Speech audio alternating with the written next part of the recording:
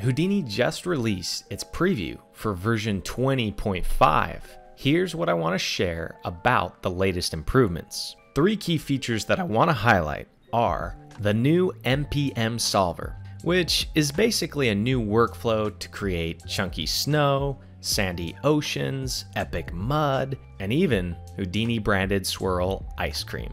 Copernicus, yes, he's back from the dead and ready to put Houdini at the center of your 3D workflow. And let's just say we've all been waiting for recipes. Sure, almost every studio I've worked at has had a system for sharing node setups, but they almost are always half broken. So, having a dedicated system is going to be game changing. Now, let's dive right into some of these. MPM. Of course, there's long technical papers written about MPM. It stands for Material Point Method, but I want to attempt to give a simplified and quick explainer on how it actually works and why it's useful. Basically, you set a collection of points, and these points have certain features about how they should act. For example, a group of points could have a high amount of mass or velocity to then move in a certain way. Then these points need a grid to set them up and communicate like a hive.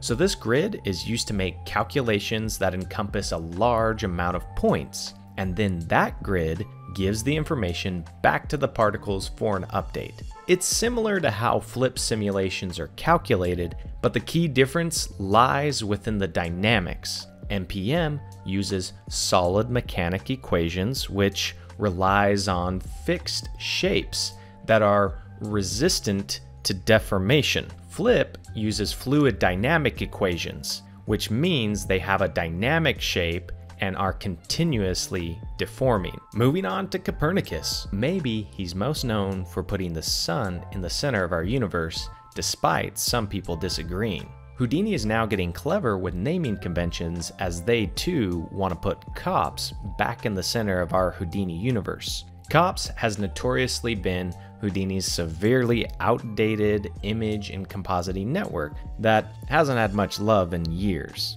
Finally, after a few weeks of internet lawyers destroying Adobe's reputation, maybe those mass market designers can switch from using Adobe products like Substance and After Effects and go with much more user-friendly experience by using Houdini. That is, the only problem is they need to learn how to use Houdini.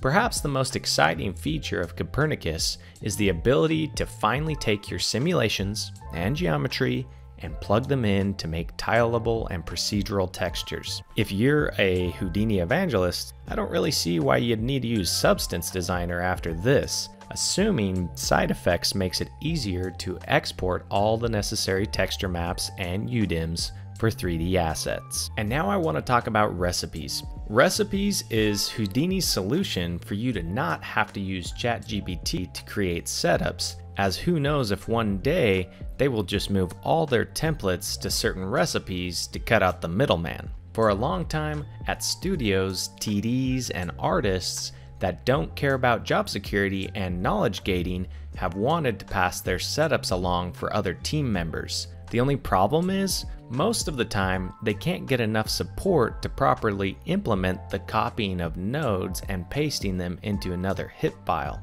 Now that we have a dedicated system for doing this, who knows what will happen to the shelf as it is now seemingly irrelevant. Just like chefs and bakers of old, you too now have the opportunity to easily create your own custom Houdini recipes to satisfy the appetites of your demanding VFX soup and pesky Hollywood clients, assuming Hollywood still exists after 2024. There's a quick overview of three features from the Houdini sneak peek you wouldn't want to miss. If there's other features I didn't cover, let me know if you want to talk about them in the comments below. Do what all YouTubers say, like and subscribe if you want. Thanks for watching.